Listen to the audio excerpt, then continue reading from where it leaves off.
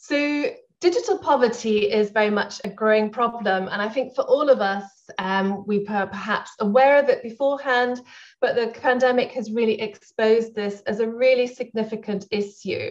Um, and that a significant proportion of the UK are digitally excluded for even not having internet access or really low levels of digital literacy.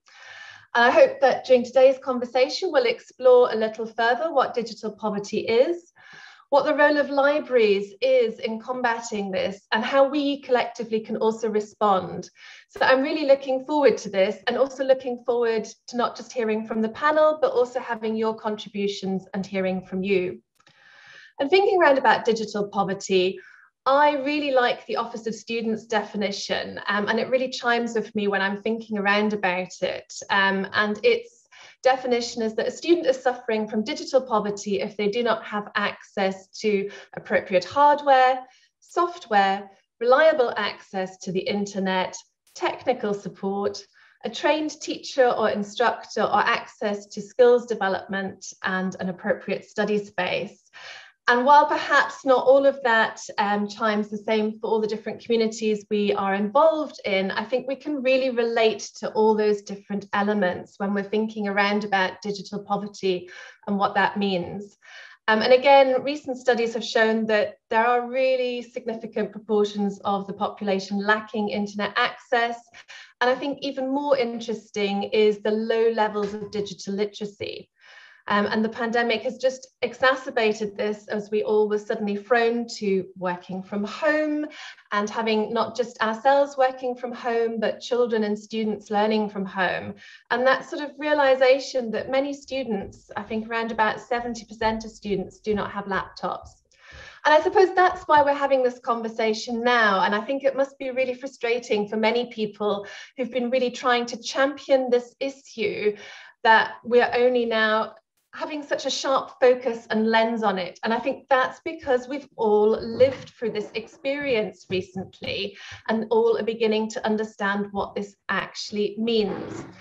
And I think it's also been exacerbated over the last few years with a digital shift in many public services. And this digital by default, which assumes internet access, assumes that there is digital literacy, and again, by digital literacy, I'm referring to something which is more than just knowing about how to use certain software products, but is really a way of thinking and mastering and how we use these different digital interfaces. So I think as I would sort of acknowledge, access to broadband and equipment are key, but it is also the digital skills and literacy and how that affects people that is so significant. And we've all experienced this now. We've all seen what it means to be digitally poor as we've all helped our staff set up and work from home. And we suddenly discovered not everyone had appropriate broadband, had the right equipment. Um, and it's made us really appreciate what what impact this can actually have. So if I could ask Sue to introduce yourself. Hi, everybody. Um, I'm Sue Williamson. I'm the National Director for Public Libraries for Arts Council England, which is the national development agency for public libraries. My interest is in promoting partnerships with public libraries to use the power of that network and the expertise of trained public library staff to deliver solutions and programs. During lockdown, the severity of the issue concerning digital poverty was highlighted, and I see a fantastic role for public libraries in helping to address this. Thank you. Now, Catherine, would you like to introduce yourself, please? Yeah. Hi, everyone. My name's Catherine Mills, and I'm head of digital social inclusion for Good Things Foundation. So, if you don't know who we are, we are a social change charity and we operate both in the UK and Australia. Um, we have a vision uh, with a world that where everyone benefits from digital. We actually lead a network of thousands of community organisations, which include public libraries as well as um, voluntary sector organisations, uh, social housing, those kind of organisations too. And we have a network that operates both across both countries. And this network is about how we can focus on helping people to access and use the internet to have better lives. Our model is based on embedding and supporting digital inclusion within the critical work that already happens in the community sector at the front line. So that could be helping people find employment, improve their health, or manage money. And over this last year, we have seen um, it's something that we've been working on for a long time, but we've obviously seen a massive uh, interest and increase in the need to start looking at digital poverty. Thank you. And next, can I come to Trevor? Good morning, good afternoon, everyone. I'm Trevor Dawes at the, the Vice Provost for Libraries and Museums and University Librarian at the University of Delaware in the United States.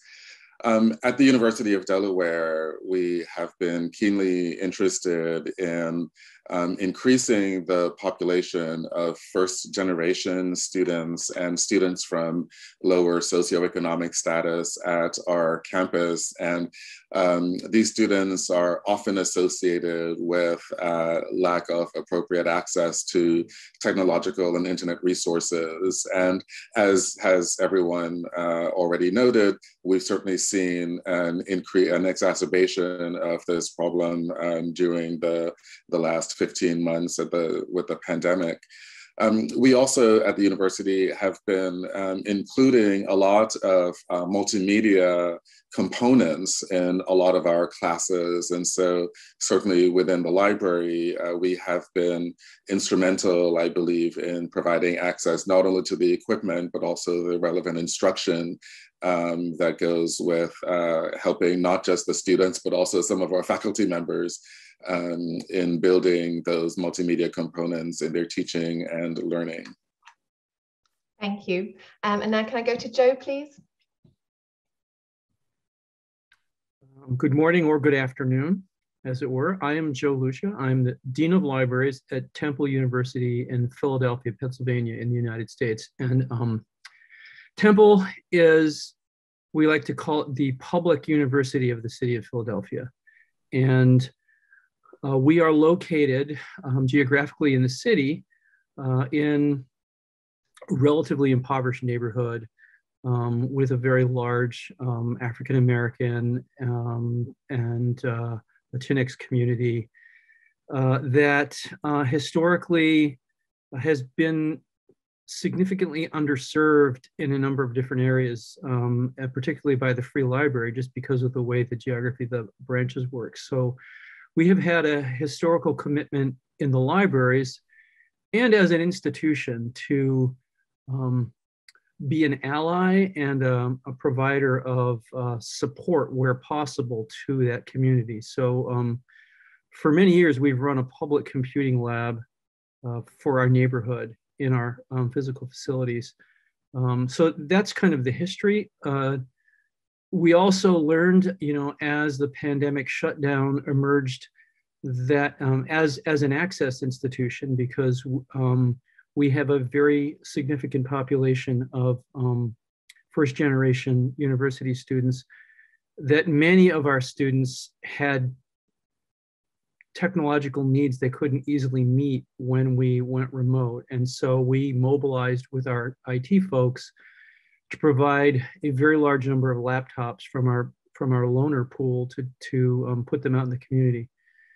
Um, and and uh, again, um, kept our building open uh, against uh, you know a lot of resistance because a lot of our students who live in Philadelphia did not have access to Wi-Fi at home. So there's a range of issues where we've been involved with uh, these questions, both longer term and um, in the immediate past. Thank you very much, Joe. And Hannah. Hi there, everyone. Um, I'm Hannah Holmes. I'm a research associate at the Cambridge Centre for Housing and Planning Research, which is part of the Department of Land Economy at Cambridge University. Um, and my research is largely focused around social inequalities and marginality. Um, and in the past few years, my work with CCHPR has expanded to include digital poverty as part of that. So the centre's work has looked specifically at digital exclusion as a facet of poverty more broadly and its relationship to other forms of deprivation. And in our most recent work, we're considering the importance of digital inclusion for managing money and finding work amongst people who are experiencing poverty and establishing how digital exclusion fits into the context of people's lives in a, a sort of more broad way. Thank you for that. And last, but by absolutely no means least, Christopher. Hi there, thanks very much. Um, my name's Chris Hale. I'm the Director of Policy at Universities UK. And for those of you, of you who don't know, Universities UK is the representative body for all of the universities in the UK across England, Scotland, Wales, and, and Northern Ireland. We have about 140 members, and they're made up of the executive heads, vice chancellors, principals of, of those universities. I mean, we've had a key focus as Universities UK as a national organisation supporting our members through the through the pandemic, and and particularly that shift to online and what that has, has meant. And a key aspect of that has been the question of digital poverty and how we support um, uh, disadvantaged students as well. And we've worked very closely with JISC, which um, is the sort of UK's higher education technology body, but also with the Office for Students, which is the regulator, to really sort of try and understand and explore what some of those issues and challenges are, understand that shift, understand from a policy perspective what, what needs to be done. Um, and also how it how the questions that are arising and becoming more pertinent around um, digital poverty relate to some of those questions that universities have been dealing with for a very long time around social mobility, access, inclusion, participation, and those kind of things. Thank you very much. And then last but not least, for those who don't know you, I'm Kirsty Lingstadt. I'm head of the Digital Library and Deputy Director of the Library at University of Edinburgh. And you may have noticed that my co-convener, um, Michelle Blake, is not joining us today, and she's unfortunately um, been laid low um, and isn't able to come, but I'm sure she'll be listening um, from her sick bed and um, cheering us on from the sidelines. So thanks very much for those introductions and also placing into context uh, where each of you are coming from. And I suppose thinking very much around about digital poverty and the fact that really it has been a long-standing societal challenge. I just want to ask about this major challenge that we're facing and to sort of start the discussion um, and ask in particular, Catherine, and then moving on to Hannah, how would you characterize the nature and extent of this challenge? And how is it really manifest amongst individuals, but also amongst particular communities? So, Catherine, if you would maybe like to pick up on that aspect. Yeah, thank you, Kirsty. So I just wanted to start by unpicking. I, know very helpfully you put in your um, introduction, Kirsty, sort of the explanation of digital poverty, but I thought I might do it just from our perspective in the community side. And at Good Things, we've um, put together what we call a digital exclusion pyramid, which looks at the what we consider the four key blocks of digital exclusion. And firstly, it starts at the bottom with devices. What we saw through the pandemic was that if you didn't have access to a device, you're essentially cut off. And it's something that we will hold our hands up at good things because because we'd had this network of organizations, we'd always focus very much on basic skills, thinking that the device and the access to, um, to that technology was happening through libraries, it was happening through to community organizations. And in that first pandemic, in that first lockdown, when pretty much everything closed their doors, suddenly lots of people who were who were reliant on those um, devices were locked out. And so we realized very quickly that we had to do something about it. So for us, that forms the, the pillar that if you don't have that access to the device, then you, you're not going to go anywhere. However, once you've got the access, you need to have the connectivity. And data poverty is something that, again, has been around a long time, but has really risen in significance. And, and you hear lots of people now starting to talk about data poverty. Interestingly, again, that's one of those words or one of those terms that has lots of different meanings. So for us at Good Things, data poverty is the inability to afford sufficient, private, secure internet connection to meet your essential needs. Um, data poverty means you're not going to be able to live well in a digital society. You know, you can't apply for jobs online, banks, all your essential services. And you obviously can't keep in touch with people. You know, it leaves communities behind. So you need to have the devices and the data poverty uh, and the connection to go together. Sort of in the middle bit of our pyramid is the basic digital skills. And by that, we're not talking about all the key skills that you might need in employment and jobs. This is about the, the, the essential skills you need just to access um, essential critical services. So we use the government's essential digital framework and the five key areas that we mean by data, data, basic digital skills is the ability to communicate, to email, to go on social media, to share online, to handle information and content. You know, so many people don't really understand where their information is coming from. Transacting online, how can you do transactions safely online? Shopping, universal credit, your health information. Problem solving, how do you find information to help you solve your problems? Um, and then wrapped around that um, is how do you stay safe online? You know, keeping your information um, legal and confidential. And one of the things that we've been also thinking about is it's implied consent. How do we get people to recognize when they are giving away essential information that they don't realize that they are? You know, that there's a lot going on in that online safety. And again, we saw through the pandemic the increase in online scams, um, and all of those targeting some of the more vulnerable people who were going online first off.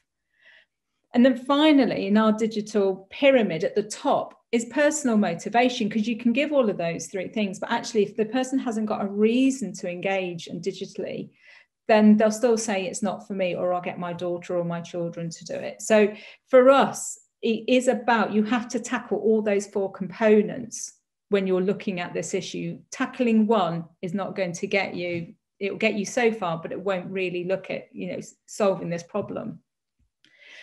So in terms of the other bit I just wanted to quickly cover in this bit is the scale of the issue, which I think is really useful just to have as context. And very helpfully, last uh, week, the Lloyds Banking Group in the UK do a, a, consumer digital index, which takes a snapshot of where we are each year in terms of our digital um, uh, engagement. Um, and for 2021, these are the, just a quick key of some of the things they found. So 14.9 million people in this country still have very low digital engagement. And these, so these are people who are online, but what we call limited users. So by that, we mean young people normally who have no or few qualifications who are only using the internet for social media or entertainment. Um, many limited users only have a smartphone. And again this is this can really affect critical engagement. There's only a very limited amount that you can do if you only have a smartphone as your only access to the internet. And many of these limited users don't have the digital skills needed for work. What we have seen through the pandemic is that that level of digital skills you needed to operate to work has increased. And we saw this at Good Things. We have a platform called Learn My Way, where we normally aimed at people who are new to digital skills, it takes them on that journey. We suddenly saw an influx of people who were on furlough or who were worried about their employment during that first lockdown because they suddenly realized they didn't have the digital skills needed for work now that they were having to work either remotely or in a different way. And we really saw that influx that people going, my digital skills are just no longer good enough.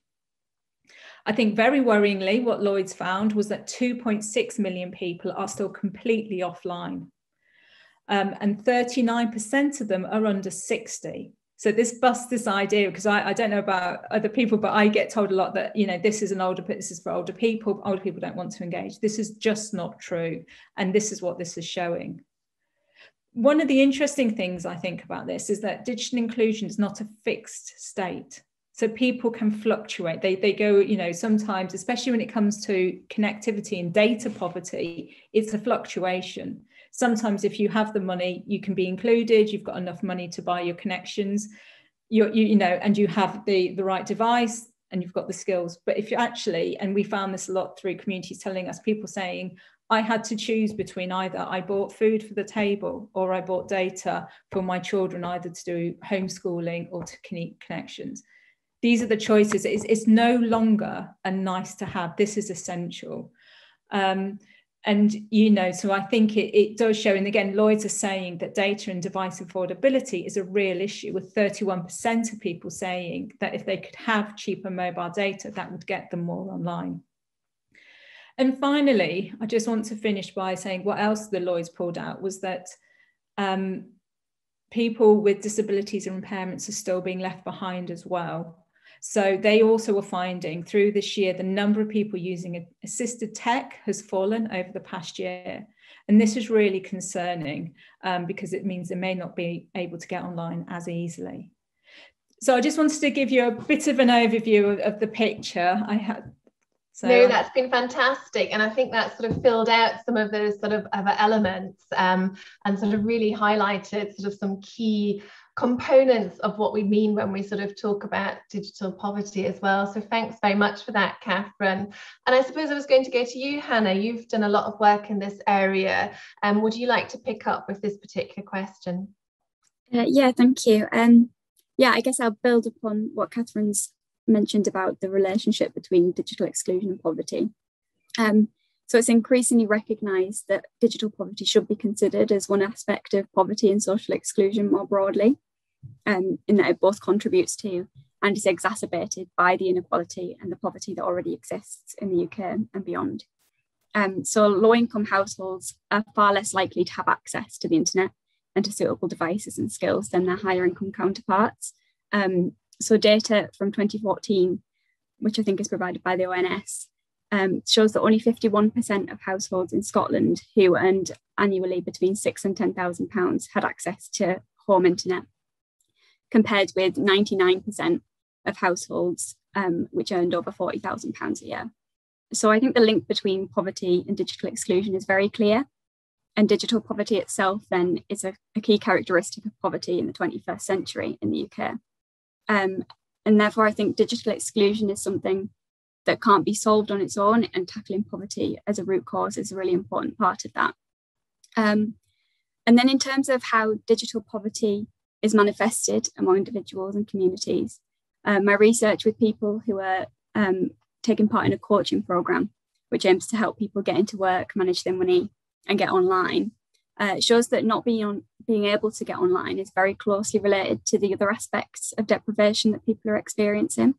And it's manifested in having seriously reduced access to job opportunities, um, not only because of, obviously there's a, an increasing need for digital skills in work um, in many jobs, but also because access to online job applications is limited if you don't have a good internet connection, um, a suitable device, or the skills that you need to be able to sign up for an account on a job site and, and write and upload a CV on the computer and then monitor that account for any updates.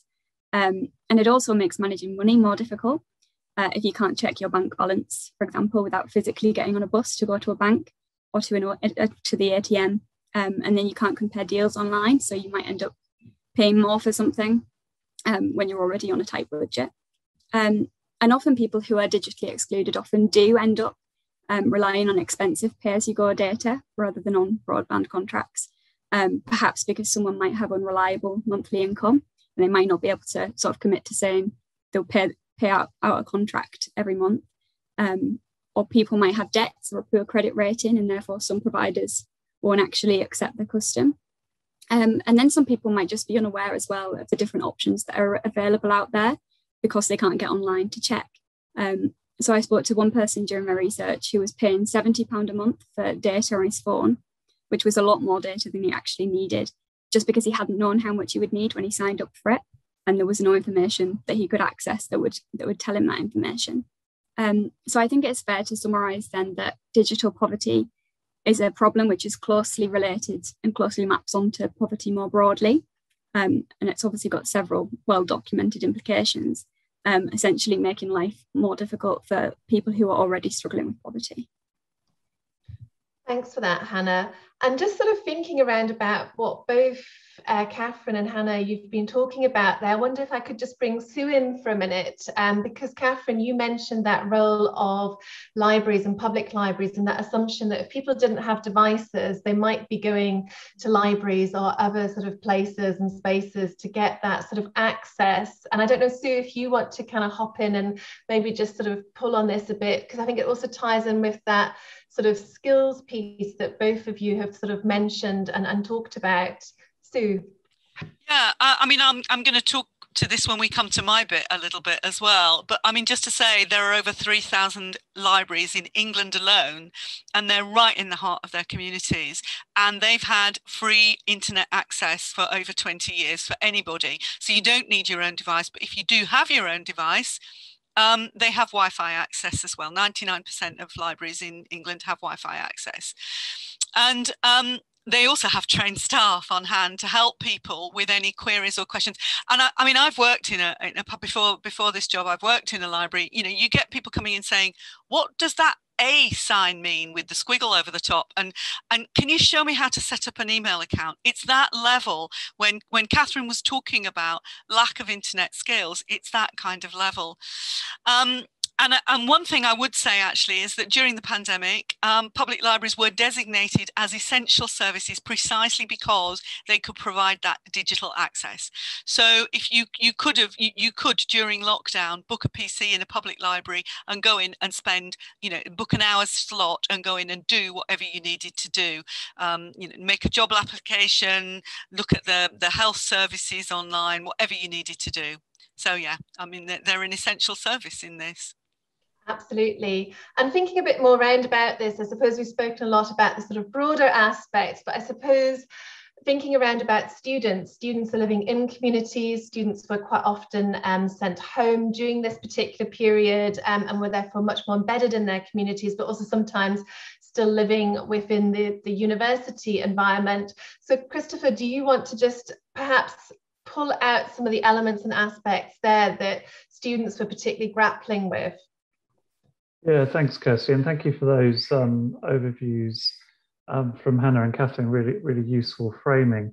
I mean, obviously, as, as we've heard, access to equipment and connections are are pretty critical and absolutely critical to learning. And there is, from the evidence we've looked at, there is a quite a good correlation between those students from disadvantaged backgrounds and, and digital poverty, and that's something we see in in higher education. And I think it's I think the good news is that universities have been quite well placed to respond. And, and part of the good news is that we, we kind of broadly know who those students are. And over time, because of that correlation, we've, we've done a lot of work to be able to identify who those students are and, and a lot of support around bursaries, um, around equipment, around connection, dongles, all that kind of stuff has been has been put in place during the during the pandemic, and that work builds on that work that universities have done to support those students. Um, and we have seen increasing demand, and we've seen increasing demand and um, uh, stretch for those sort of hardship funds and the bursaries that are available.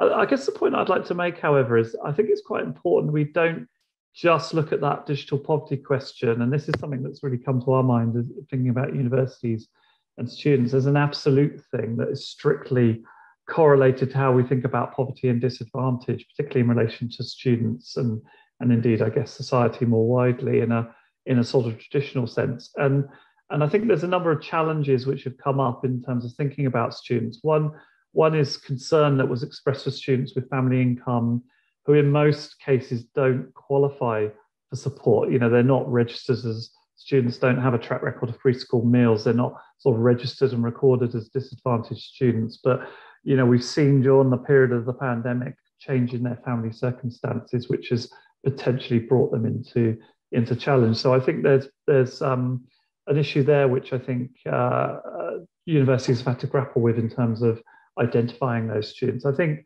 some students have struggled with poor Wi-Fi connections, and um, and we've often seen those students not being perhaps the students that you think they they might be, um, you know, because of the context in which they are um, living or, or, or, studying. And the JISC um, report um, showed that 62% of students um, highlight an impact on their learning of slow, slow Wi-Fi and slow connection. So that's that's a wider group of students than those universities might be traditionally targeted in relation to um, disadvantage. And often those students are living in shared accommodation, might be at home, um, might be at halls or in rural areas, for example, where they're connectivity might might be poor or, or might be might be weak.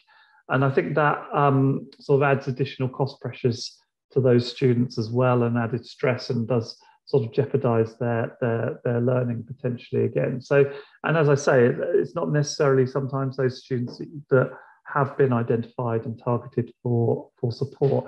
And I think there's also a question of staff as well. And often um, uh, you know, I think there's assumption, obviously, because staff in universities, you know, in most cases, um, probably are regarded as having a, you know, not being disadvantaged. But I think some of the circumstances that staff have have lived in and you know have had challenges around connectivity. I mean, I'm a school governor, and and it's actually an issue which came up in terms of teaching staff. Um, you know, you may not regard those teaching staff being in sort of poverty or dis- necessarily disadvantaged, but but in terms of digital connectivity, some of them had real challenges in terms of their you know their personal circumstances and the environments they were living in and those kind of things and also just being able to get good good connection. Um, and then i think um, you know i think it's been raised already as well and it was raised in your opening points kirsty about the sort of thinking about the context and where people are living um, and, and actually just having the space. It's one thing you may have good connection good connectivity but working and, and learning remotely can be a challenge and having the space to do that you know where it's quiet um, and you've got the space to be able to study and, and be able to do what you need to do is, is really important. Um, and then i think another issue which has come up which is one that um, has been raised already is that sort of capacity to learn um, digitally. And and so and, and I think there's often a generational issue here. I think people often assume, you know, people of certain generation of digital natives they they live online, but but actually learning online and having the capabilities to learn through digital sources, I think, uh, is a challenge, and that's something that needs to be learned in itself and supported quite closely. So I think there's a potential area where digital poverty can manifest itself in in that regard. Um, so I think there's there's lots of ongoing support that's needed, particularly for those people who are from social, poorer socioeconomic backgrounds more disadvantaged backgrounds, but I think there's also this wider set of issues that sit around those people as well that I think we've got to make sure we're we're understanding and engaging with as well. No, and I think what you were just talking about there really chimes, you know, having kids at home who are trying to learn and, and do online learning, that's actually quite different from being in the classroom and talking to student staff um, that I've been working with here at the university. Again, some of them were just finding they were struggling because it is they are familiar with it, but there are additional skills, especially when you're doing it for prolonged periods of time.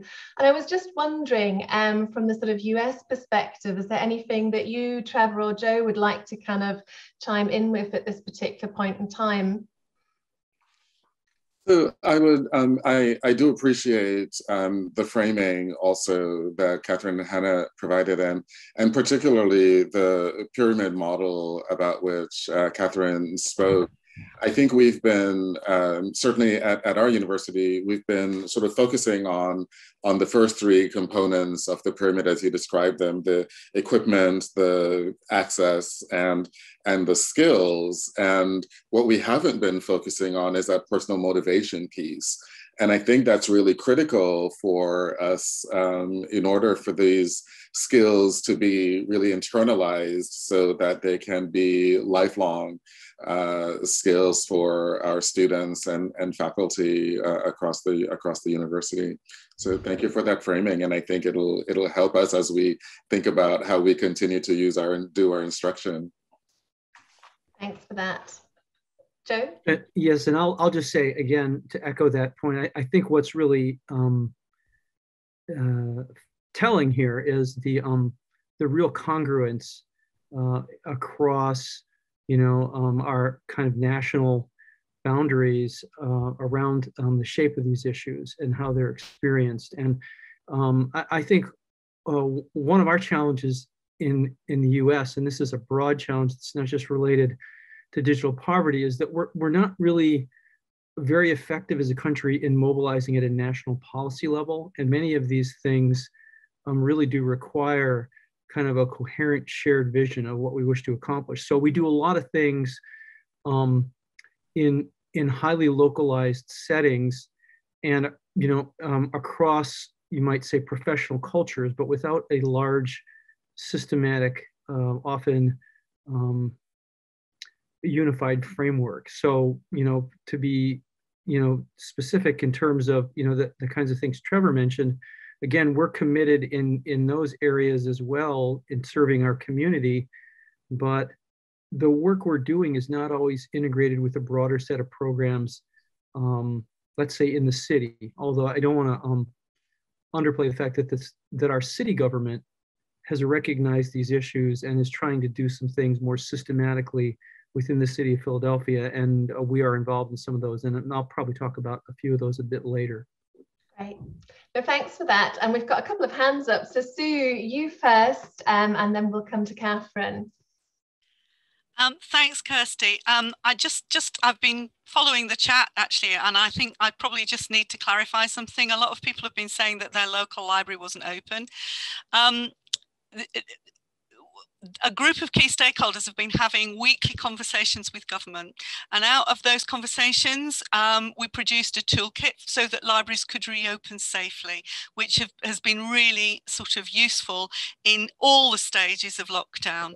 And what government said was that libraries could open. They were they were allowed to open for four essential services, of one of which one was being able to book PCs. The decision on whether to open the local public library rested entirely with the local authority. It wasn't mandatory. So I, I, I thought I'd better just say that. I'd also just like to say that I think Joe made a brilliant point there that actually this is this is something that needs national programming, national solution finding in order to address and possibly finally just to say as a student who when i went through university i didn't even have a typewriter. I wrote everything by hand. I'm currently doing a course actually and i'm finding it really difficult even though i use technology every day to understand what how students work on a regular basis um, to study using digital technology all the time. It's very different from any experience of learning i've ever had. Catherine? Thanks. Uh, I suppose just listening to, oh, sorry, see, I can't even raise and lower my hand properly. Um, so um, I suppose I just wanted to put back a little bit of a challenge as well um, to everyone and to the community because one of the things we've been looking at is um, digital ecosystems. And obviously, a university or a research library is part of that community, and to think through that halo effect that you can have. So it isn't just thinking about the students as well as, and I know when we've, you know, I, I know, I think Joe and others have said about the staff, but one of the challenges that we always put when we work with organizations is is every single member of your staff and when i see that i mean are all your cleaning staff your property maintenance staff staff who perhaps digital isn't part of their job but actually as as part of being part of those communities and part of an academic community do we not have a responsibility to ensure that all members of staff are digitally engaged? And actually if you think through they are then going back into their communities and you know we're talking about students and others working and being environments where those digital skills are perhaps not there. There is a halo effect. And so i i do i would like to broaden out our thinking really. And it's a challenge that i give to everyone. I do it's local government and all sorts. Is let's really broaden out who when we say about who needs digital skills it's really making sure that everybody who we work with and engage with has an opportunity to, to get those digital skills Thank you for that, Catherine. And I think again that sort of challenge and that question around about, you know, what scope is there for the Civic University to sort of start addressing digital poverty is a really key thing. And I'll sort of pose that question, which has come from the audience from Joe Webb, and can I also hand over to Christopher, who I think wants to come in at those questions. I go first? Yeah.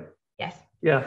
Um, no, I think that's, uh, Catherine, I think that's a great um, a great challenge. I was going to pick up on the point uh, Kirsty did about the civic university and that civic role, and I think that's something that's really getting momentum in the UK at the moment. Is this idea about how universities can support the communities in which they are they are rooted, and and um, we're already seeing some of that. I think that sort of supporting digital poverty is is a really important dimension of that, and we're seeing.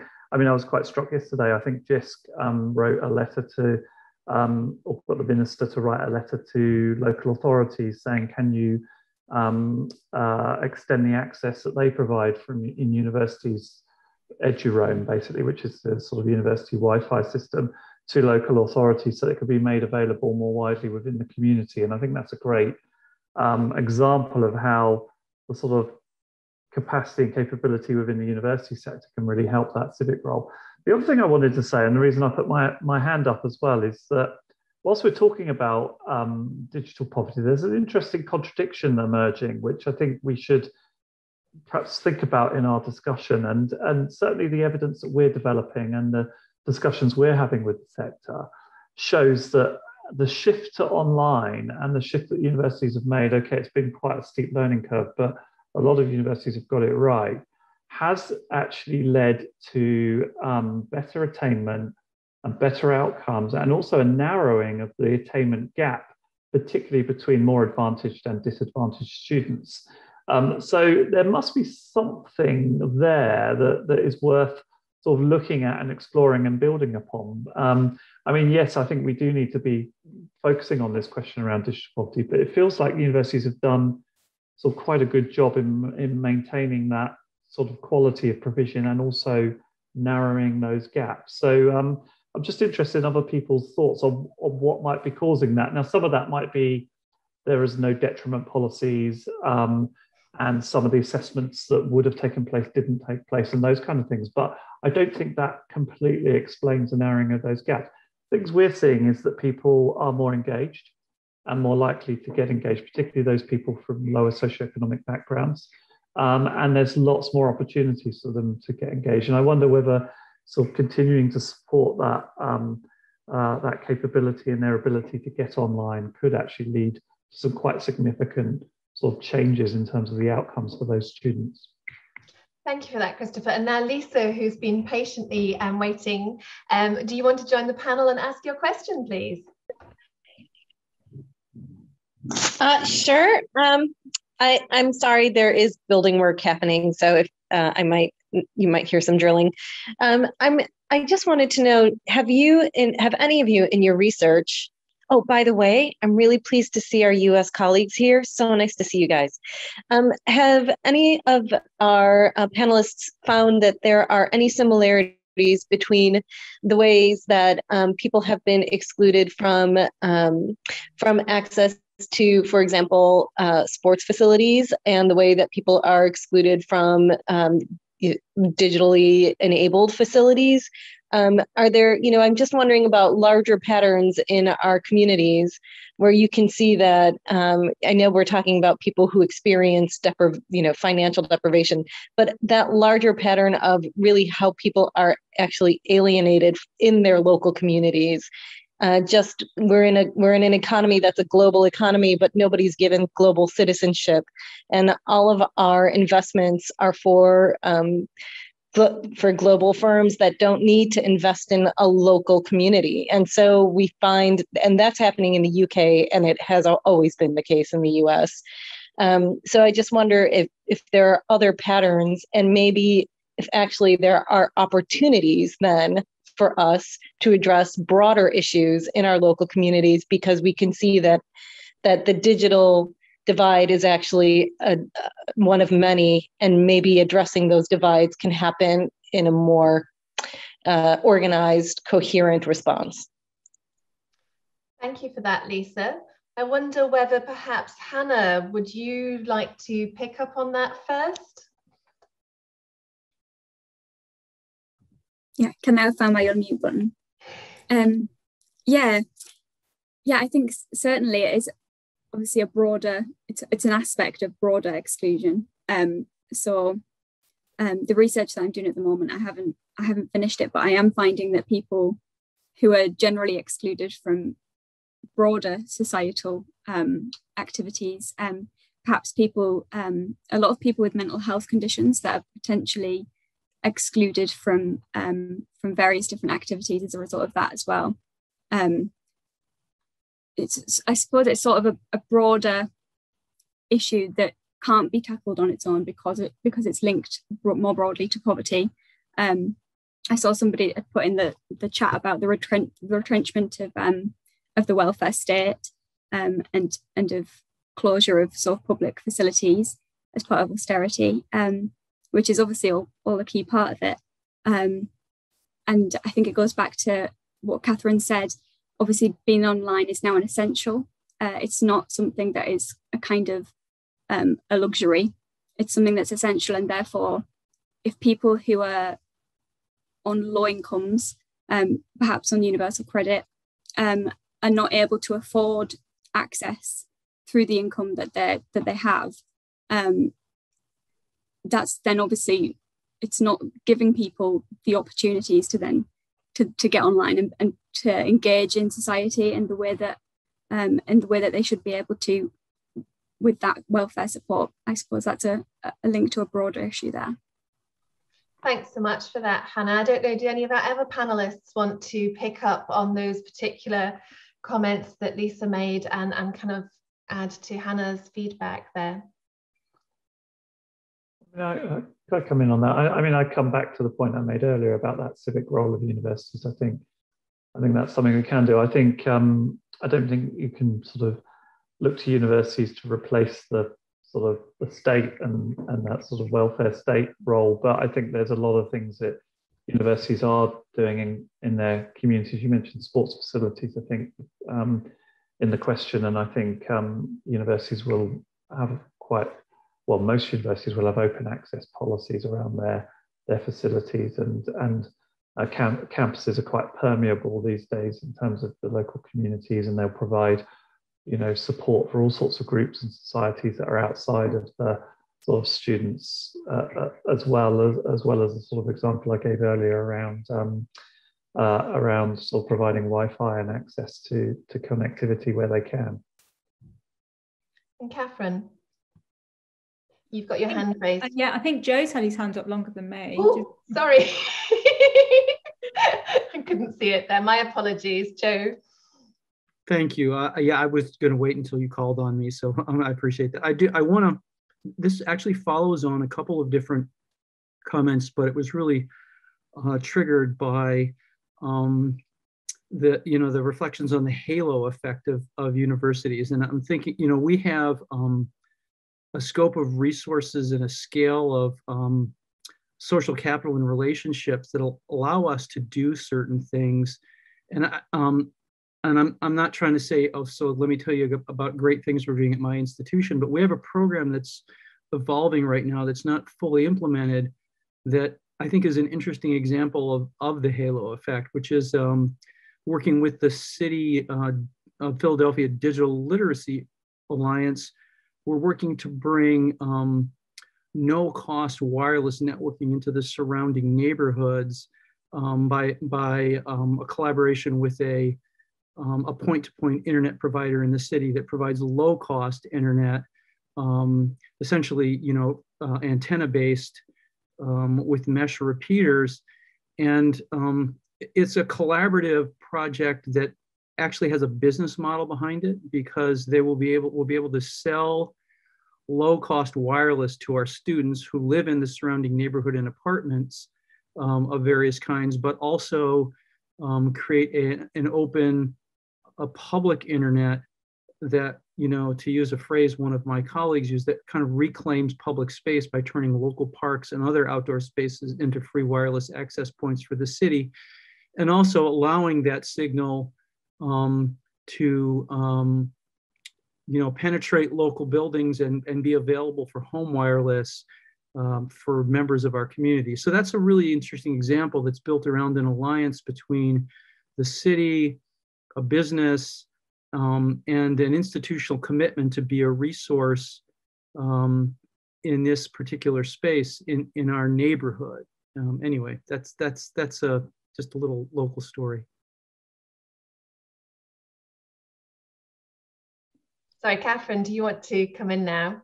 Yeah, uh, just going back to Lisa's point. Um, so one of the things that the reason that my title is digital social inclusion is because we absolutely recognize what Hannah was saying that um, digital exclusion and social exclusion go hand in hand. And so, what we find by working with community organisations and libraries and others, working in those trusted spaces where people perhaps aren't presenting with digital inclusion, they're not presenting going, I need digital skills sometimes. What they come in with, I need help with my universal credit application, I need to help with the job. And we actually then embed those digital skills as we help them to come overcome these challenges these social issues that they're going through. And so well, what we find is that by doing that, and it goes back to that personal motivation piece, that people there is a reason for actually starting to engage. And then we have a theory of change as part of our, our learning. And what we see is, is that no very few people go on a very linear journey where they start off with, okay, I need to apply for a job. Oh, great, I know how, you know, I'm going to start doing digital skills now. And they carry on until they're digitally included. They will drop on and off but the benefit of having places like libraries, which I'm sure we'll pick up with, because I know we've got this sort of the next topic and Sue will pick up on this, but having those trusted spaces in communities where people can go and help with, I just need help with an email. They get help with that resolution, but then it's about building that confidence and then they will come back again and again. And it is this sort of how you build these journeys, but it is about addressing some of those social issues alongside digital inclusion. There's very few, there, there are some people that come in and go, I want to learn how to be, you know, I want to learn digital skills. The majority of people, and, and I do come with, um, I, I, was a librarian for 17 years in public library. So I have been there. I have sat where people have gone, you go, well, you know, you just use a mouse. Where, where's a mouse? You know, no, no, that's the mouse. Where's the, you, you know, and you really have to think through your language and everything. You, you know, you take people on a journey, but most of the time it is about addressing some of those social issues and not just digital inclusion on its own. Thank you so much for that, Catherine. And Trevor, you had your hand up there. Would you just like to come in now? Uh, sure. So um, I, I appreciate the question about the broader social aspects and um, you know, particularly in the US, we've seen a lot of um, not just libraries, but um, academic institutions more broadly, and even um, in, in the for-profit and not-for-profit spaces, um, using language around anti-racism uh, right now.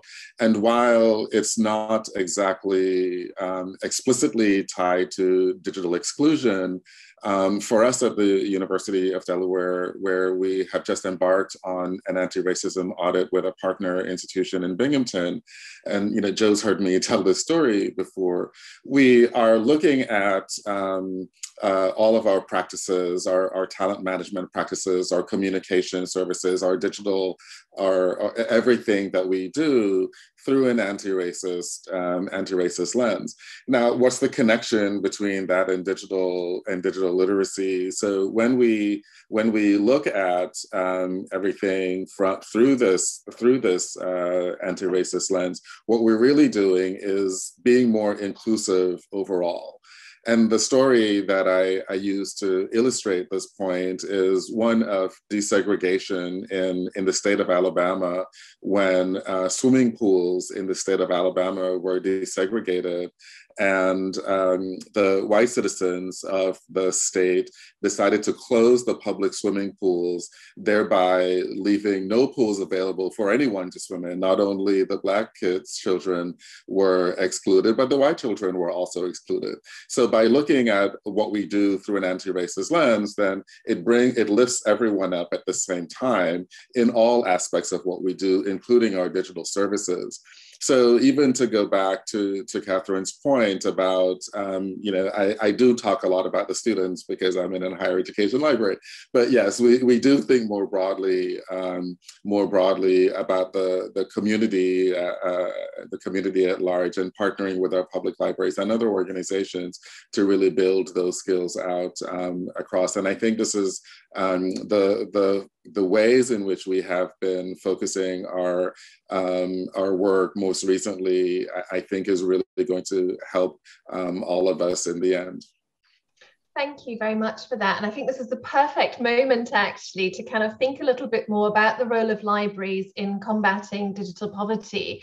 We've really begun to touch on that and it's been reflected through the questions as well. So I think um, I'd like to ask you, Sue, if you could just highlight a little bit more the role of libraries, um, whether it's public or other, in combating digital poverty. I know you've touched on a couple of things already, but if you could just expand on that, please.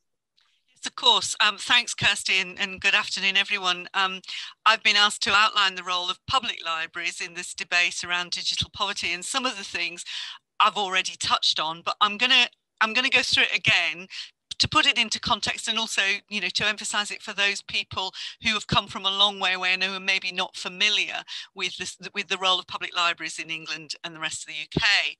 So Public libraries have been key players in the UK in preventing digital poverty since the end of the last century, when government funded free access to computers in public libraries through the People's Network programme, which is now 24 years old. They wanted to ensure that access to technology wasn't limited solely to those who could afford both connectivity and the then very expensive devices to access increasing technological developments. Then bearing in mind that even to self-build a computer in those days cost about 1300 pounds. So it was, it was, you know, without that network, it was limited to very few people people. More recently, government also funded Wi-Fi in public libraries to support those um, with the necessary devices who were maybe on the move or without decent broadband, or perhaps, as we've touched on, the wherewithal to fund that connectivity in their homes. And that's what digital poverty is all about. It's there, but I can't afford it. And there's been a big, a, a huge debate over lockdown about sort of bringing digital connectivity into the realm of other, other utilities like electricity electricity, gas, um, and everything that makes you uh, water, everything that makes you able to live comfortably in your own home in the 21st century. So it's worth reflecting at this point that access to computers and to, in fact to all e-resources through the public library network in the UK is entirely free at the point of contact. And it's also useful to think back to that initial vision and how far we've come in terms of that shift to digital in the intervening 20 years and the acceleration of that shift to digital programming that's happened because of the pandemic. We've all we've talked a lot already about the staggering number of people with no or limited digital skills. And I think it's very difficult for those for whom digital engagement is as natural as breathing to understand that there are those usually the elderly and the vulnerable, but not exclusively, as we've already mentioned, who are just totally bamboozled by the speed of the shift to digital. Just think about how many things essential to 21st century life can now only be done in the digital universe and not face to face. And then add those which are more easily done online, such as banking, getting the post office to collect a parcel for you, and during the pandemic, basic shopping. This is where public libraries provide an essential service in promoting greater understanding. Through that People's Network and the addition of Wi-Fi capability, for over 20 years, public libraries in the UK have been hugely instrumental in providing support to access the world of the internet and advanced communication. And during the pandemic, libraries also massively increased their free ebook and e-audio collections, which for many have been lifelines during lockdown. In fact, they've seen something between a six to 800% uptake in those services, which are also completely free for library users. So in England alone, we have more than 3,000 public library branches and they're anchors in the community. The library staff know their communities at grassroots level, as Catherine referred to earlier. During lockdown, on average, many of the staff in library services made 30 to 40 telephone calls per day per service to those who were isolated, vulnerable, shielding and alone, and without digital access or skills. In some cases, through those calls, they provided professional support in using technology for the first time for those with devices perhaps given to them by their grandchildren that had never been out of the boxes. Public libraries, as I mentioned earlier, were designated essential services by government and were allowed to remain open if the local authority chose to allow them to do so. And this meant that without access to technology in the home, people could still engage with that health information, employment sites, and other essential services during lockdown.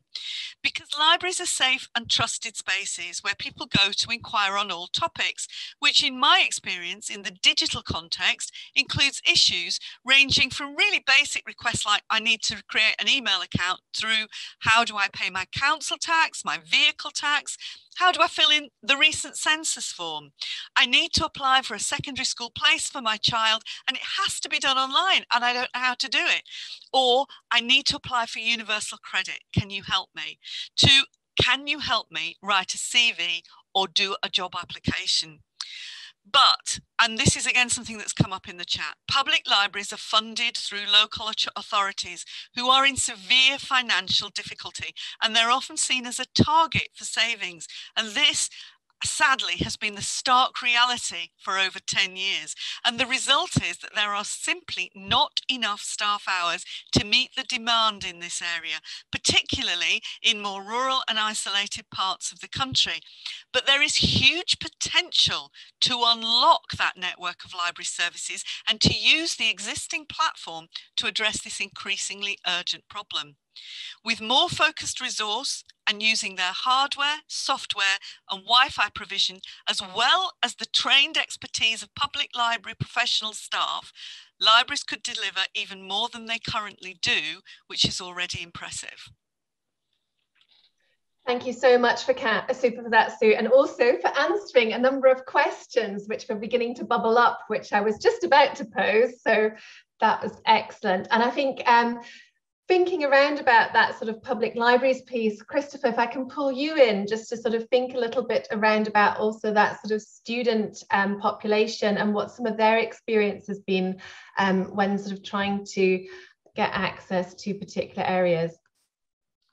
Yeah, thanks. And, and I, will make a few comments on there's quite a lot of interesting points coming up on the chat around sort of open access and those kind of things, which I think are really really important and, and indeed cost. Um, I mean, just on the pandemic, I mean, a lot of universities didn't close. I mean, there was often this um, sort of perception, wasn't there, that, that universities were closed. A lot of students were not coming onto campus and were learning remotely, but actually a lot of universities stayed open. A lot of staff were there to support those students um, that needed additional support. And there were provisions made in the guidance from government, for example, about particular types of students that could come in um, and use certain facilities, and some of that included um, library facilities for particular and study space facilities, particularly for those students who are unable to um, uh, to access those, you know, in their own home environments or or elsewhere. And I think that was an important role that that universities um, played. I guess a, a lot of universities now are thinking about you know libraries as part of that broader question about where where we go now, really, in terms of what we learned from the pandemic. And and um, and I think, as I've already said, there have been a lot of positives from that. And a lot of universities are thinking, well, do we go down this digital first route, which was talked about? And um, but I think there's lots of sort of issues that flow from that, and things, sort of questions and strategic questions that need to be resolved. Um, about the sort of options and the services that sit around that digital first approach and and this open access question is a key one. I mean, that will be, you know, I think as someone said in the chat, we've made great strides in that area, but I don't think we've probably made as much progress as as, as perhaps we could could make. Um, there's also issues about cost and the cost of the university and what it can afford to um, uh, to provide in terms of licenses and software and, and those kind of things. And I think some of the sort of big questions about how the how those things are procured and negotiated with the publishers and with software providers and licenses and those kind of things come into question. And then I think the other strategic question for universities is the sort of the space. What do you do with the physical space? And I think that I mean a lot as you, I mean there are probably people here are far more qualified to talk about this than I am, but I sense there was a trend in that direction anyway about rethinking, you know, those spaces that perhaps libraries have once occupied and I think there's a question about how that is reshaped and remolded to support study space and, and indeed deal with this, some of these questions that we've raised about those people who perhaps don't have access to and options for, for studying remotely as well. I think just picking up on some of the things you were raising there and again we've had a number of questions around about digital skills and i think they sort of apply both within the universities as well as kind of the sort of public libraries is that digital skills piece and how do we provide that training not just perhaps to students and um, communities but i think also it's come up a number of times staff within kind of universities communities. How do we actually tackle that that digital literacy skills element and how do we make that a much better experience for everyone so everyone can get access to that type of learning that they need If I can maybe throw that question open. Is there anyone who would like to kick us off on some thoughts around about that and, and how we can approach it? Sue. This is, this is a very small point, but but when I when I went to university um, many moons ago, um, I had to sit a qualification at the time called the use of English and um, it was it was a completely random qualification that proved that I, I just knew how to use the language. And i'm wondering whether actually there is something here for all students to do while they're still in the sixth form at school before they go to university in terms of the kind of digital skills that they're going to be expected to be able to be competent in when they go to university so that that, that transition phase is more easy, easily managed so that they, they get something that, that equips them to go um, before they actually get there. Because I do think that there is a gap there for a lot of students in terms of the, the level of skills that they're able to use when they actually go to university. Thanks for that. And Trevor? So I, I think, um, you know, again, going back to, to a point that was raised earlier, we do have staff members um, maybe in the library and certainly across the campus who may not have even been to university and have not developed um, some of the skills about which we are speaking here today. And um, we often have, uh, we make accommodations for uh, for those staff rather than helping those staff members to develop the skills. So I'm, I'm thinking something very simple, like we're doing an all campus survey, and the survey is administered electronically, and we will provide a paper survey for those staff who don't have the equipment, um, whose work doesn't normally um, involve the use of equipment on, on campus. Um, and and you know that accommodation we can argue about the benefits of that, but um, what we, what I think we do have an obligation to help improve those digital skills. Many of us, um, I'm sure Joe would agree, and, and our UK colleagues would as well, um, we do provide instruction in our libraries on the use of on, on digital skills, and you know we, we could certainly um, go into a lot of detail about that. But then the commitment from the university and the the staff, the managers, the administrators, uh, particularly of those staff who may not have those skills, we need to get that support from uh, from uh, our colleagues and at those levels in order to ensure that the time is available, um, is made available, the paid time is made available um, for those staff members to take advantage of the many resources um, instructional resources that, that, that we provide. So not an answer to the question necessarily, but I think just um, highlighting what uh, one of the major uh, barriers is for uh, increasing that literacy, digital literacy among some of our colleagues. Yes, and I think I sort of saw a comment earlier on in the sort of chat and questions whether we actually have that data around about who of our staff is actually attending um, digital skills training. Um, so whether we understand who's applying, whether it's just professional staff, whether we're really making our kind of digital skills training really open to all areas of our staff when we're working within universities. There is that assumption, but actually is that an assumption we're making? And actually those people who might benefit aren't necessarily seeing it as training or appropriate for them. So I think there is definitely that question and also that question in my mind around about are we collecting the right data in our universities about who's attending this? Um, and, and maybe we do need to think a little bit more widely around this question of digital skills and literacy in order to make sure that we're much more inclusive. And I think we also need to just start thinking a little differently just because staff don't need access to do some of their work day to computers and hardware day to day that doesn't mean that we shouldn't start thinking about ways and means of providing it because that could start shifting and changing what happens in society um, more widely. Joe, you've got your hand up. Would you like to come in, please? Oh, you're on mute.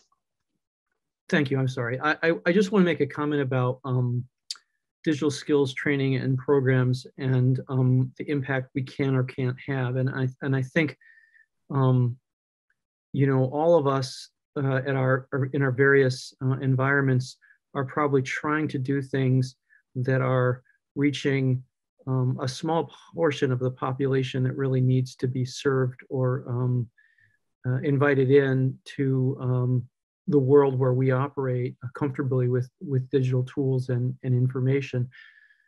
Um, the, the challenge I see is that those interventions are very narrow and only touch um, you know small sometimes even self-selected groups. And and i think that the issue and I, this is going to go back to an earlier point i made. The issue i think for us is um, can we as institutions um, do things as a sector rather than individually? And can we do things across sectors to begin addressing these problems and to bring some of these resources together? You know um, we we have engagements with the public schools as a public university uh, in the city of Philadelphia. We have engagements with the city, but we don't have a systematic view or a programmatic um, framework for thinking about the, the fact that this problem does need to be addressed um, more globally. And, and I just, I, I, that's one of the things that, that concerns me is that the, the local programs, which are um, well motivated and effective in a narrow sense, still don't deal with the larger systemic piece that we really need to be, I think, concerned about. Thanks for that. Catherine? I mean, so based on thinking how we do it in communities, but for the, we just need to embed and digital skills in what we do. We need to, I think, stop seeing it as something separate that needs a separate course or a separate way of dealing with. We have to embed it in whatever whatever programs or interventions or teaching we are doing it has to be a natural part of that and not seen as something as an add-on. We see that doesn't work in the community sector in terms of adding it on and I, I don't see why any reason it should be different here. I think it's about changing our perspective and seeing it as a natural part of whatever we do. Digital skills is embedded as part of that teaching and learning no, I have to say, I, I, think I thoroughly agree with that particular comment, but I think it's so hard to achieve. And I think so many people still sort of see digital skills as something that's sort of slightly separate and off to the side. And I think, again, I was really struck when talking around about digital literacy. People see it as, oh, I know how to use this piece of software or this piece of technology. And actually, you know the more i work in this area the more it is just it's that mindset it's a sort of aptitude it's an agility it's a type of thinking that really needs to kind of come through. And it, it's how do we sort of help people learn that um, and, and kind of bring that to the fore? And i think that's really very challenging. Christopher what would you like to? Yeah i was, I was really going to kind of wholeheartedly agree with catherine's points. I think there's probably things that can be provided separately that, that are optional, but I think as uh, I think there's an opportunity because a lot of universities are sort of coming off the back of the pandemic and thinking about their curriculum, the sort of pedagogy that underpins that, and how they sort of rebuild that in in a sort of digital context. And I think building some of these some of this thinking and some of these skills into the into that framework as it develops, I think will be will be will be really important. But but also looking at it as part of a sort of whole institutional approach as well that's sort of joined up. So if there are additional modules and options and opportunities that are being provided through, you know, through the library community or other parts of the institution, that they they sort of reinforce that. And then and then also I think not just looking at it in terms of the curriculum either, because I think particularly in relation to students and thinking about disadvantage and opportunity, often that that sort of follows a student through their student life cycle and, and is reflected in terms of um, you know student outcomes and employment outcomes as well. So so thinking about the kind of skills that would need digital skills that would need to be embedded in terms of taking opportunity of other things that the university is able to offer in terms of you know internships careers advice and support other sort of pastoral support as well that is provided by the by the university out with that sort of core teaching and learning support as well. Thanks for that. And Sue, and then Hannah. Hi, yeah, I, I, mean, I absolutely agree with what um, Catherine was saying, but I think the issue here is that people need different digital skills for different digital things, and and they and and they these are mushrooming. So, for example, I was I was taking part last week in a forum around health literacy and health digital literacy. Um, and there is a move now, accelerated by the pandemic, for people to have more online consultations with their doctors. But supposing, you know, uh, uh on that forum was a, a, dermatologist who was saying, you know, some people don't have the skills to be able to take a photograph of the skin condition that they're trying to supply, upload it, and send it to him for him to have a look at. And when it arrives, it might be blurred and he might not be able to make the diagnosis that he needs to make. And I think you know, thinking about that, it's about going back to those people who don't have any skills at all and thinking just how terrifying that is. You know, I can't go and see my doctor anymore now. They want me to do this consultation online and I don't know what I'm supposed to be doing. And that I think is, is the most fundamental issue that digital poverty needs to address.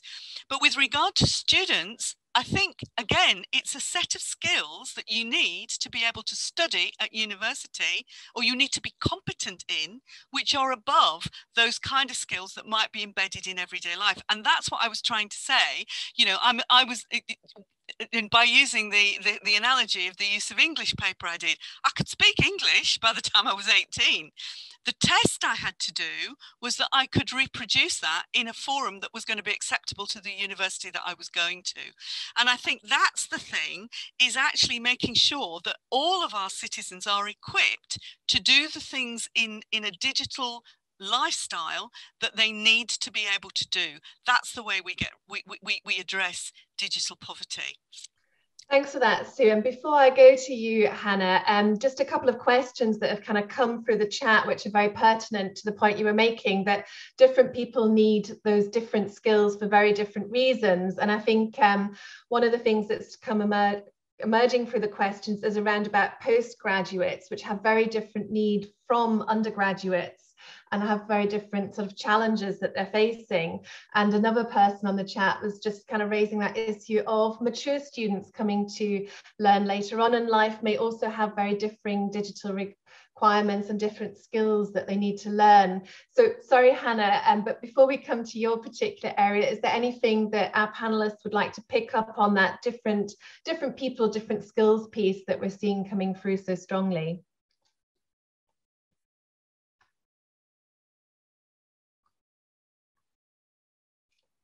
In which case, if we've got nothing further, but everyone in complete agreement that that is absolutely the case, um, perhaps Hannah, do you want to come in next?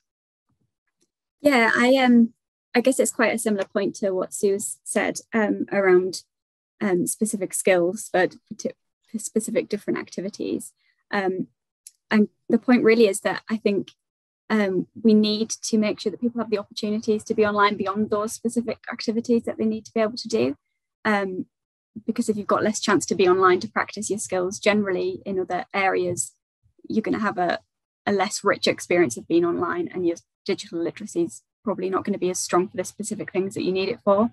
Um, which again relates back to the sort of the broader social deprivation. So people who are relying on a data contract um, they might find themselves restricting what they use their data for in case that they find themselves needing something for, for essential things or what they deem to be essential later in the month. And therefore they're really doing a sort of less um, a less rich exploration of what the internet can offer. Um, and then when it comes to the specific activities that they want to be able to use the internet for, they might not be quite as well equipped to do it. No, and I think we're sort of seeing that coming through um, in a range of areas. Sue. Sorry, I just wanted to pick up um, on a, a, something that was in the chat from um, Dr. Purcell, who was saying, um, could the could the panelists say what two or three tangible things they'd like to see happening um, in order to address these problems? And I'd, I'd like to go back to Joe's um, description of the um, of how they were using connectivity, antenna re, re, um, based connectivity. There's a project going on in in the Republic of Ireland at the moment, which is doing precisely that um, with Microsoft in partnership. It's about capturing um, excess connectivity for the, that is um, spilling out of TV connections across the country from mast to mast and harnessing that and putting it into the library network to strengthen that and allow the Wi-Fi to be more accessible. And they're doing that in partnership with um, specific students who are coming from deprived backgrounds. And I think there's a similar project also happening in Chicago as well through the university there. And I think that, that, that in terms of addressing this issue of um, um, you know, public spaces as places where people can go to actually um, access connectivity. I think that's a really big area that we could do more research on to see how that's possible. I would like to see the Wi-Fi network through public libraries strengthened so that if you have a library card wherever you are in your community, you can plug into your device and use the library services Wi-Fi power to be able to in your home to be able to do that. And i don't know how to make those connections. And i'd love to see universities look research uh, panels looking at that to see how we could we could we could strengthen those public wi-fi networks for those who don't have access can't afford access in their own homes through any other means and actually, I think one of our panelists was sort of highlighting that museums are very much also community spaces and, you know, quite often also provide Wi-Fi. So is there something they're working across sectors? So very much echoing what you're saying there, Sue, that we need to kind of look much more widely at public spaces, where are public spaces and where can we start providing those, those access points.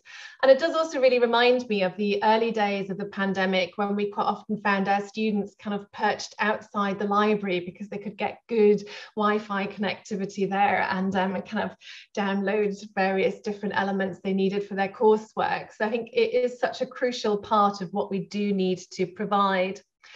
I think I'd just like to um, explore a little bit more that point around about the needs of different users and the needs of our different university users as well.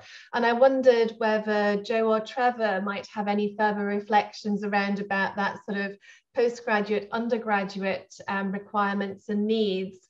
And I think another thing that's coming through very strongly on the sort of um, questioning is also around about universities sometimes being walled gardens, these research universities, and not necessarily being so open and sharing the kind of resources that they have. How can that be improved? So who might like to um, kick off and, and respond to some of those areas and elements? Joe, can I come to you first? Sure, I'll do my best oh, here. On, I, I, again, I'm gonna um say I think that underneath that question, there's a lot of subtleties and complexities about local populations, local groups, and who needs what. And um, our undergraduate student body at my institution is not monolithic, you know. So we have an interesting mix of, you know, middle and upper middle class kids who, um, many of whom come from out of state, who are um, relatively uh, well off economically, and their needs are different from the needs of the of the student body that comes, um, let's say, uh, from the from the state, from the city, uh, and so what what you know, how you achieve coherence in in you know what you think the critical needs are is, is one of the challenges. I mean, we do have students who um, you know, did not have access to this was, you know, high quality portable computing um, when we went remote. And we had to figure out how to get uh, into the hands of those students the tools they needed to complete their you know academic work during the course of not only last year but through this entire academic year which we've just finished and um, there's there's challenges around self-identification who wants to come forward and say, I don't have or can't afford a laptop? Um, we had some very interesting issues with um, just access to, I mean, we've talked about many of these things already, but access to reliable Wi-Fi. We, we um, have in the, the new building we opened uh, at Temple uh, about a, um, almost two years ago now. We had a 24 7 study space that we actually closed during the pandemic, and we had some very distressed students because they had nowhere to go at night to get reliable Wi-Fi, you know, and so um, the decisions we made about protecting the general welfare of our community and closing facilities, you know, really severely disadvantaged um, groups of students that had to come forward and speak up because they couldn't do their work otherwise. Um, I, I, I don't want to try and go into the graduate student versus undergraduate student topic because yet because that's a pretty complicated one about the differences across the population and, and they're they're not heterogeneous either. So I'll just leave my comments there and see if Trevor has things he wants to add. No, thanks so much for that, Joe. Trevor? Um, but sometimes we make the assumption that graduate students, having been through the undergrad the, the rigors of an undergraduate education are digitally literate and that's not always the case. So um, we do have to think about the ways in which we um, develop our develop and deliver our instructional programs especially around digital literacy um, you know, I, I, I concur with everything that that Joe said. You know, I, I, don't think any of our institutions have a monolithic student body, whether at the undergraduate or graduate level. Um, and so, trying to develop a program, an instructional program that uh, addresses all the needs at all the times is a challenge for uh, is a challenge for us.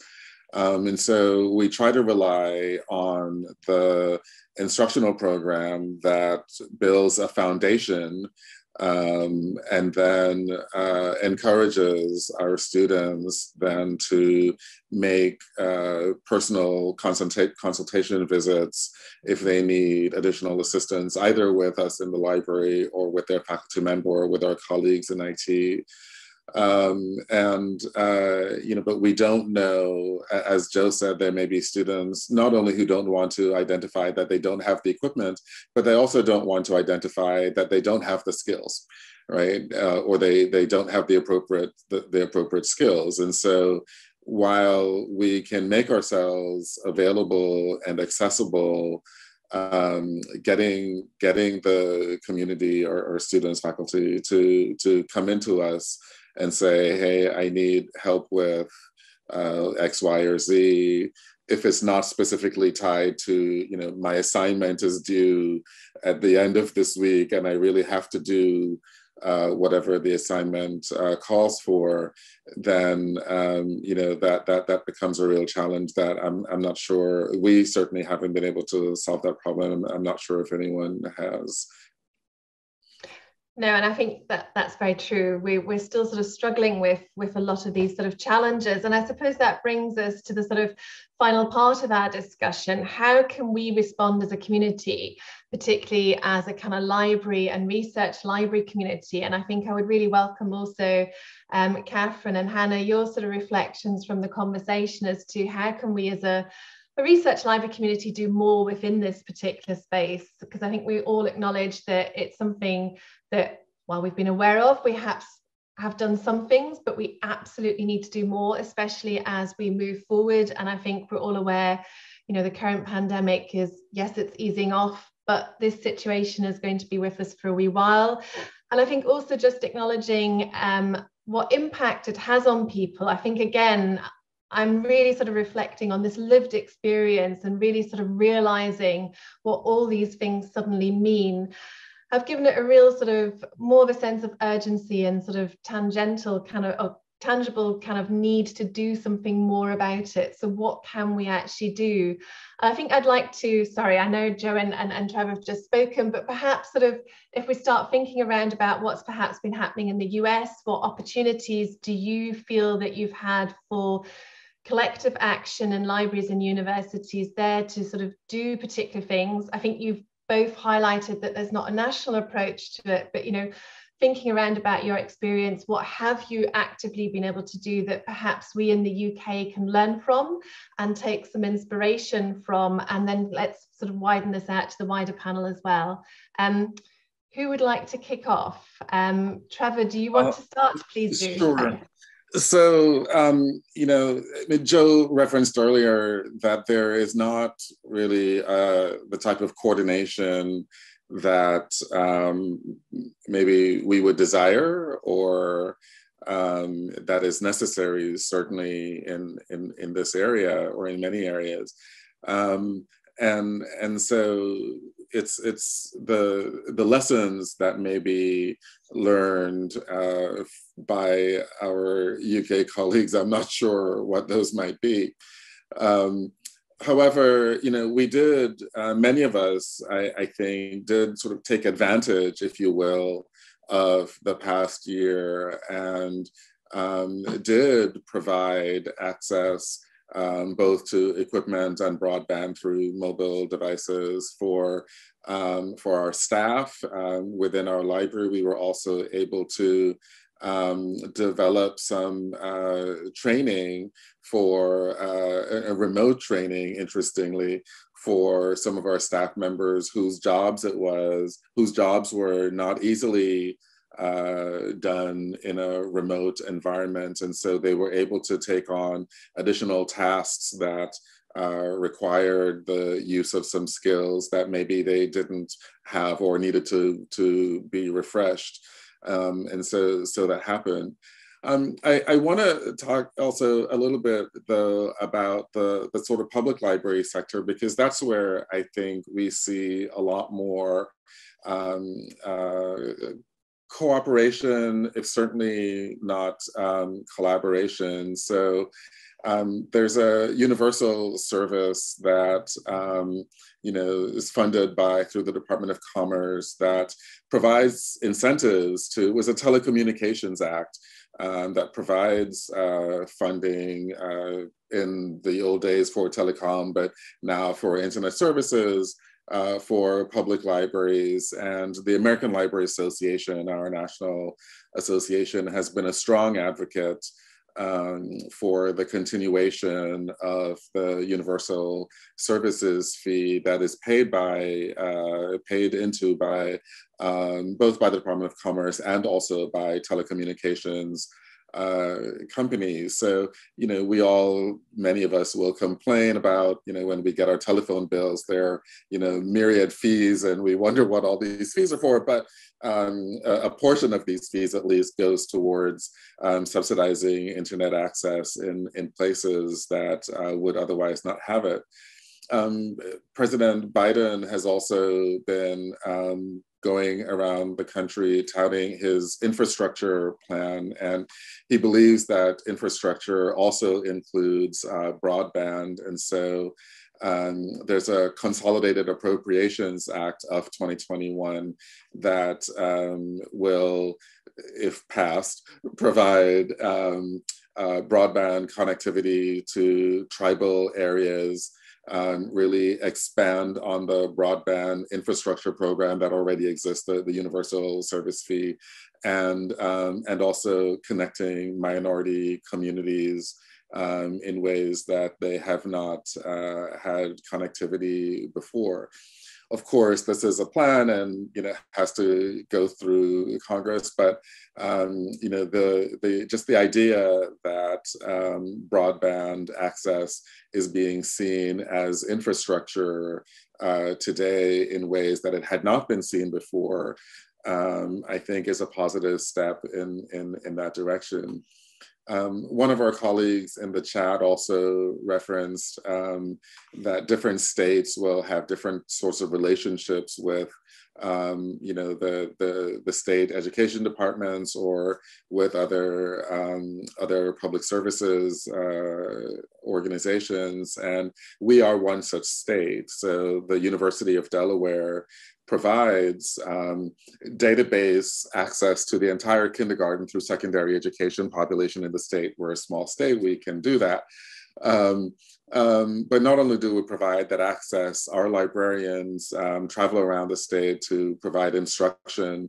Um, you know, this is very focused instruction on the use of databases, but it is a component of the digital literacy skills that our kindergarten through secondary education students um, do need uh, to help them be better prepared for college or whatever it is that comes um, for them after the at the end of their secondary educate their, their tenure as a secondary education student. So there, there, there, are, there are some ways in which, um, there are some coordinated ways in which um, higher education libraries are working um, both with other higher education institutions or with um, state uh, or local institutions to, to help uh, bridge the, the digital divide, a phrase that was very popular here some time ago but um, but the the broader efforts uh, of collaboration and coordination, I think, are still um, lacking. Thank you for that. Now, Joe. Um, well, I'll add a few things um, that I think are related to to Trevor's um, comments. First of all, I, I, I, you know, Trevor Trevor mentioned earlier the sort of um, I think raised consciousness of, of um, anti-racism that is is in the environment right now to, to some degree for us. And, and we've lived in a, as you all know, and probably have also experienced in your own domains, a highly fraught political environment for, for the last uh, number of years. But I think that the combination of the, in the United States, of the pandemic and the um, the deepened awareness of the continuing pervasiveness of, of racism in our in our society and culture have provided a moment of opening for civic civic engagement by universities, um, especially public universities in their communities. And I think that, um, and I think if, if we're intentional about um, how to take that opening and mobilize um, some of our resources to do more work um, for communities um, with historically unaddressed needs, we can begin to um, maybe have broader impacts on some of these questions of, of digital equity. And, and so the second point I want to make is, and this kind of follows from some of the comments that, that uh, Trevor made, is there's actually also embedded in this in the most recent um, relief legislation that came out of the Biden administration, a, um, the largest allocation of money to public libraries that's come um, to the states in, in a well over a generation. And in Pennsylvania, um, there is a cross-sector conversation between academic libraries and public libraries going on. Um, I'm actually going to be in a meeting this afternoon, in fact, about this um, about how we might use that money that's come to Pennsylvania, and it's a substantial amount of money. It's multi millions of dollars to the state library um, in the context of digital equity. So I think that there's an opening around these um, challenges in this moment that we have to have the courage to respond to and we have to be pretty imaginative and pretty creative and, and, and think about whether or not we can do some more systemic things um, that build on the local work we've done because I do think this this moment of civic engagement is real. It's intensely felt by university administrators, um, and um, it it it creates uh, an opportunity for research libraries and academic libraries and public libraries potentially. Um, okay, let's include museums and other kind of public-facing public good enterprises to come together and think about what you know what the systemic framework might be for doing some of this work. And, and, I'm not sure what we'll accomplish out of it, but I hope we accomplish much more than we've done over the last you know decade. So thank you for those reflections, Joe. And Catherine, you wanted to respond to some of those. Yeah, I mean, it, it's building on what Trevor Anger has said.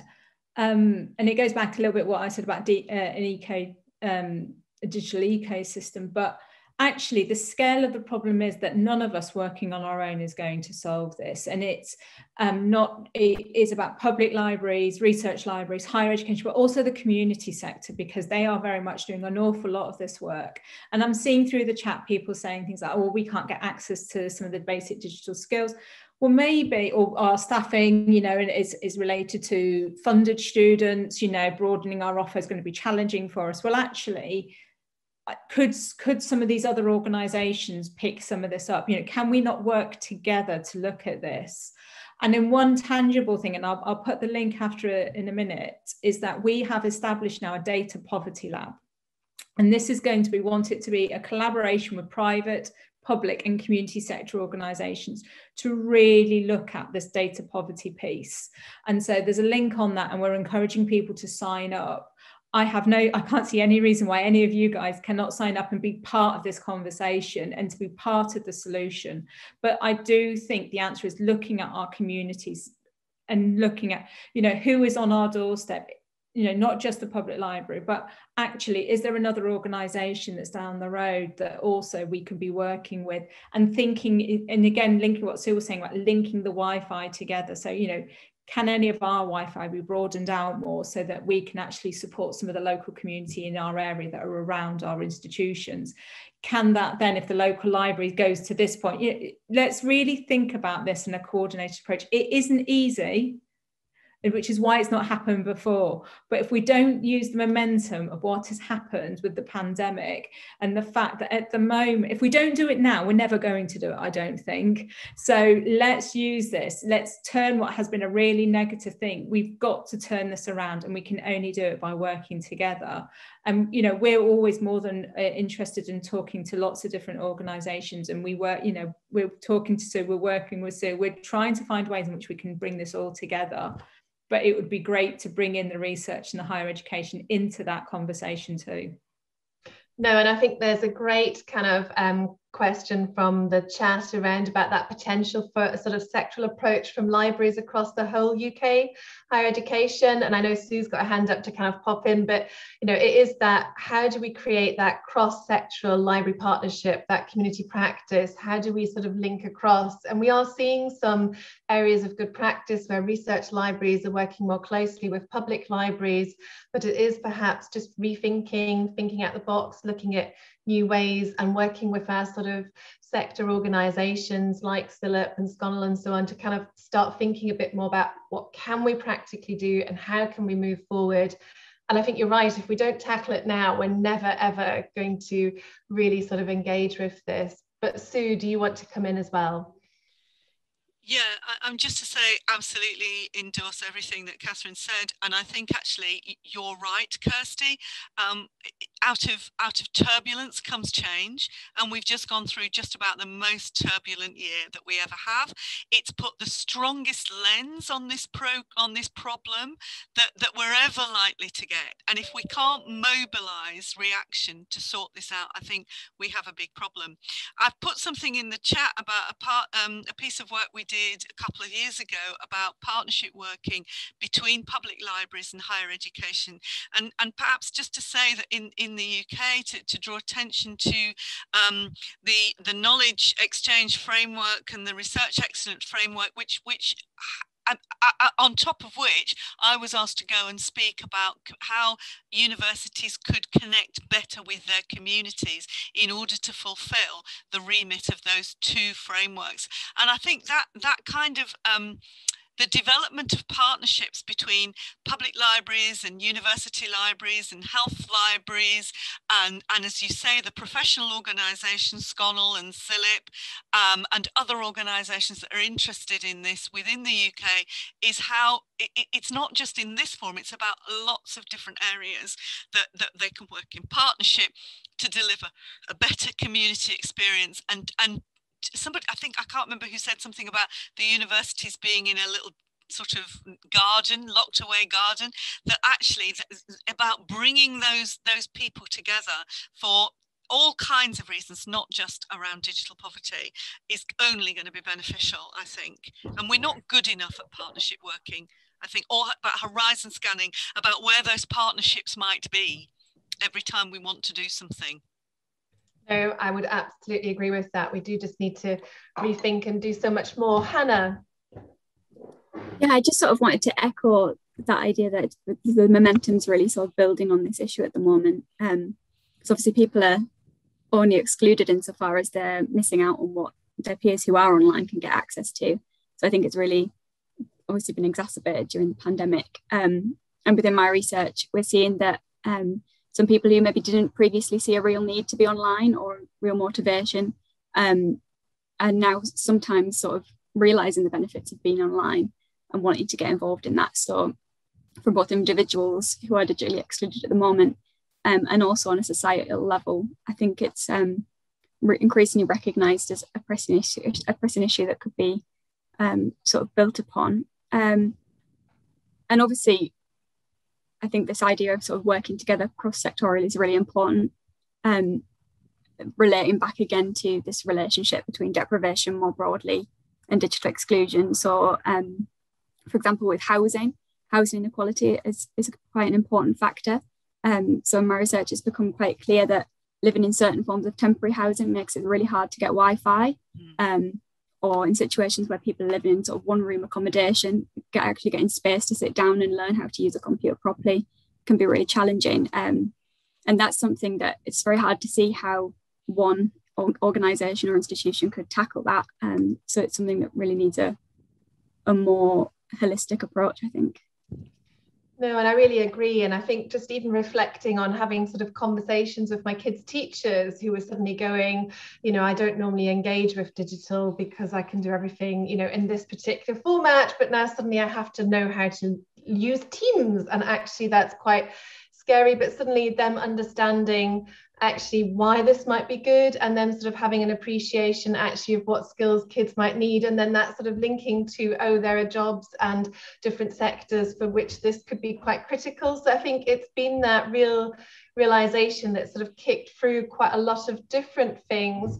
And i think again in universities we've got a particular role to play around about those digital skills. And christopher if i could maybe bring you back in again. Yeah yeah sure. Um, i think the um it's interesting the walled garden analogy. I think I think it's changing, um, and I think that things are being put in place to incentivize that and encourage that change. I mean, we I was up in well, it was pre-pandemic, but I was up in Derby, and the university runs a bus service. Um, you know, quite an extensive bus service actually around the region to bring people in from rural areas to study, but also that's available to the community. And you know, Northampton's fantastic example of a, a university that has social enterprise that underpins what it does. It runs all sorts of sort of aspects of public service in that locality. So I think there are examples that you know universities are, are they provide sort of legal services to to the community. They run museums. They're doing all sorts of things. So I think there's something about just continuing to incentivize and develop that and making sure that digital poverty piece is built into that. Um, and then I think the, the, second aspect of it, I think, is um, you know universities are required uh, for those colleagues in the states by our regulator, which in England, which is the Office for Students, to spend money that comes from the fee that students pay on access and participation, so to make sure that people from disadvantaged groups uh, get access to universities and it's about it's about a billion pounds per year spent. And I think there's something about making sure that digital poverty and understanding digital poverty is built into what universities are doing through the money that they're spending around access and participation as well. It's not only just making sure that they're spending that money, but also that that's underpinned by an understanding of what works as well. And that's what we're trying to um, build into how universities are thinking about the investments they're making in that area through um, there's a new What Works Centre, for example, that's been set up around access and participation. You know, universities might send thousands of kids off on summer camps each year, um, but no one really knew whether that made any difference whatsoever. So, you know, through randomized trials and various other tools, behavior insights, that kind of thing, universities are getting more sophisticated at understanding what works. So I think we've got to build that sort of approach into understanding digital poverty and how we address digital poverty, particularly as it relates to access and participation and, and students. And then the third bit, and, and, and maybe this is just me sort of feeling sort of, uh, you know, good about what we're doing in the UK, but we also have, you know, some of these questions about coordination um, in the UK are probably a little bit easier, I think. Um, and we, of course, have JISC, which is that sort of UK wide national body and we have the professional organizations as well, like SCONUL and and RLUK that I think can support people to coordinate and bring some of these things together. And I mean, JISC does a great job, and, and often, you know, people don't see some of the stuff it does around procurement, coordinating negotiations around open access and with publishers and copyright license holders and those kind of things. So I think um, I think sort of strengthening and supporting those kind of roles will be important to get that join up in that coordination as well. So thank you so much for that. And we've had someone join our panel. So Rachel, if you would like to pose your question, please. And have we just lost Rachel? Is this our first technical blip? It is indeed. Oh, well, there we go. well, rather than Rachel joining our panel, um, we will move on to, I think, a sort of final question um, that we've got, which is come from Mark Purcell. And I think, Sue, you'd kind of sort of spotted this one, but Mark was sort of really asking what two or three tangible things um, could research libraries do to help address digital poverty? And I thought that was such a great question that I might just kind of go around all of you um, and say, you know, if, if there are two things you think research libraries should do, um, what do you think we should be doing more of? And um, perhaps if I could start with you on this one, Catherine. Um, so a couple of things that research libraries could help do to address digital poverty. Uh, so one, um, join the digital poverty collaboration that I've just put in the network uh, in the chat panel um, and be part of that conversation. And I think the second is to look on something like the online centres network or and have a look where are your local um, provisions for digital inclusion around your area that perhaps you could start to build some connections or links with, whether that's about um, if you're unable to support some of the students with their digital needs, you know, could you direct them to there as part of that? Or is there something more about building a, that starting to build that sort of collaboration in your local area? I think that would be my two two things. Thank you. Sue, you next. Yeah, I think I, I would definitely say it's about building the partnerships to look at this in a holistic way. But also to go back to what I said earlier, I'd like to see somebody looking at the science of all this. You know, how how can we harness the resources that we have for the benefit of all? How can we turn um, uh, connectivity into a utility. Great, thank you. And Hannah, next, what are your reflections as to what we could do? Yeah, I would echo again making those community links and maybe also something to do with skills um, rather than assuming a basic level of skills, making sure that um, that skills support is there even in a very basic way. Brilliant, thanks. And, and a US perspective on, on what we could do in the UK, Joe and then Trevor. Well, again, I'm going to say, um, you know, what others have said. I do think the um, partnerships with um, civic entities, government, and the public library sector, with, um, you know, looking both at our local communities where we're geographically located and then more programmatically across what, what we can do um, collectively. That's that's one thing. I think another thing is is um, Trevor was talking about this a little bit earlier, how we create inclusive um, outreach and educational programs that um, destigmatize uh, for those who don't have either the skills or the resources, um, the path toward acquiring those things, both in terms of hardware and in terms of skills. I think creating an environment that really looks at inclusion as a framework that makes people, that supports um, being comfortable um, getting access to the things that you know lack of them uh, is also a lack of social capital. So you're going you're dealing with that hurdle around um, you know that that's sort of the personal embarrassment and figuring out what we can do programmatically there i think also matters for our students.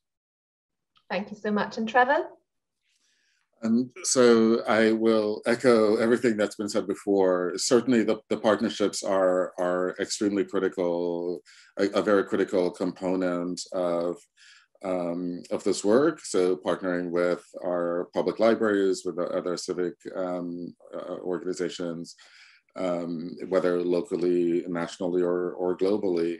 And, um, and then uh, making sure one of the things that we've been extremely good at, and I think in academic libraries, is our instructional uh, programs. And so, um, but making sure that those programs are accessible in the ways that uh, Joe just referenced and, and try to destigmatize um, the need to, uh, for, for those who need the help um, to seek it.